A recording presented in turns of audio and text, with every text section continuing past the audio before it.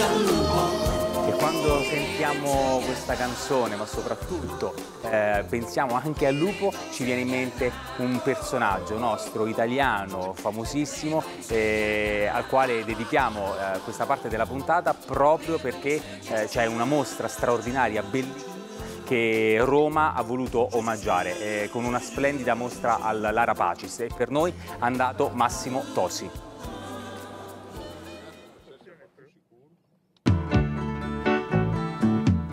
Caro amico ti scrivo. Cari amici di una mattina, oggi non vi scriviamo perché insieme una grande mostra dedicata a questo genio musicale vogliamo visitare. Se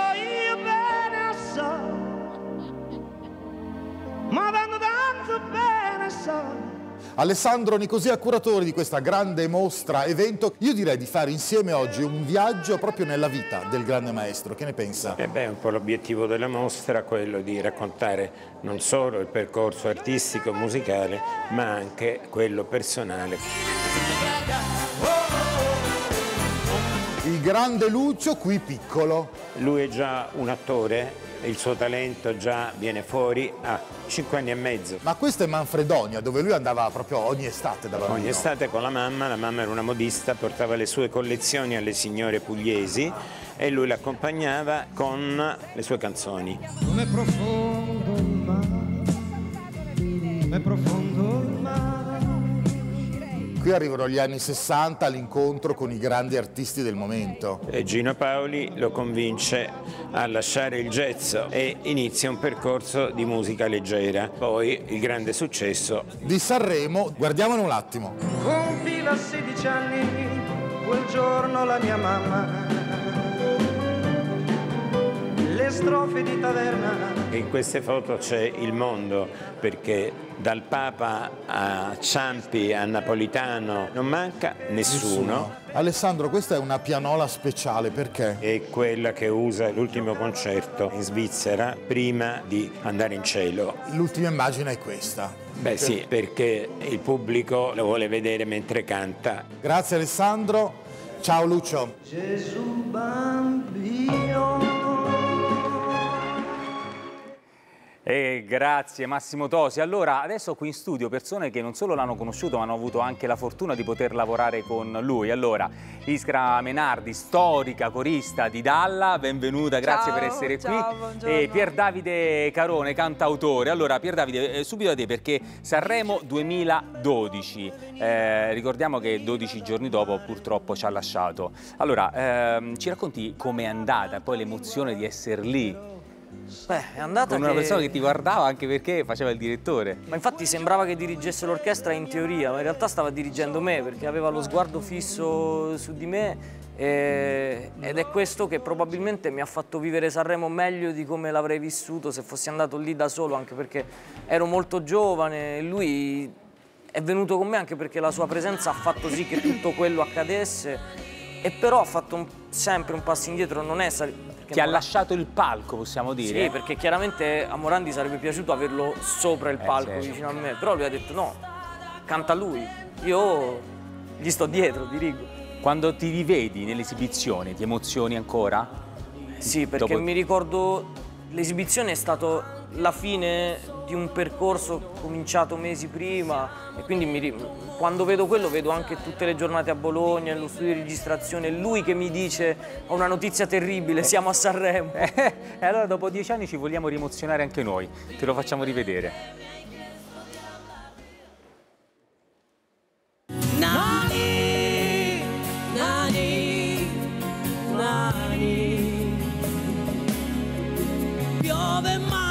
Ti puoi riparare, c'è un camionista da accontentare. Nani, nani, nani. Anche lui è solo come noi. Siamo dentro un mondo senza eroi. Beh, sicuramente l'emozione è tanta. Allora, Iskra Menarini, eh, quando l'ha conosciuto, quanto tempo poi ci ha lavorato anche? E com'era lavorare con Lucio Dalla? Eh, insomma, abbastanza...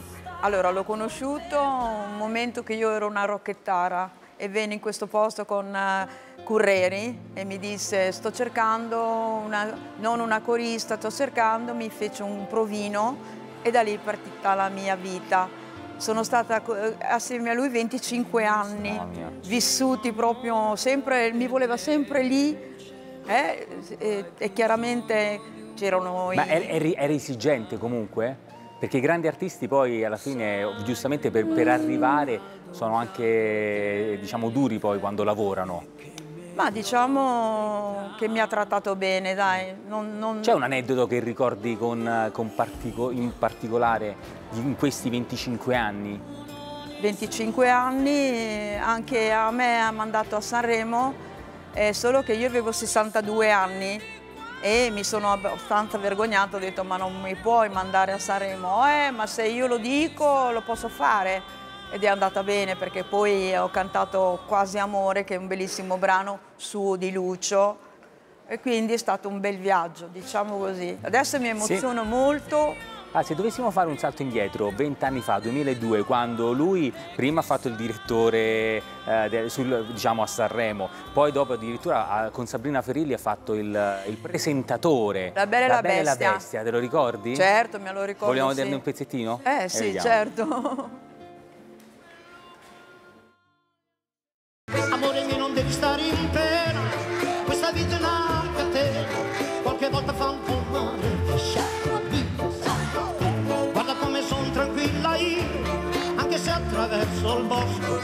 l'aiuto del buon Dio, stando sempre attenti a lui.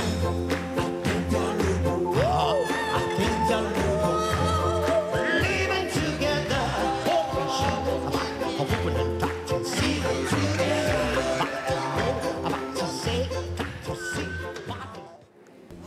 Pier Davide, tu sei una delle ultime persone che lo ha visto. E... Qual è l'ultima immagine che hai di lui?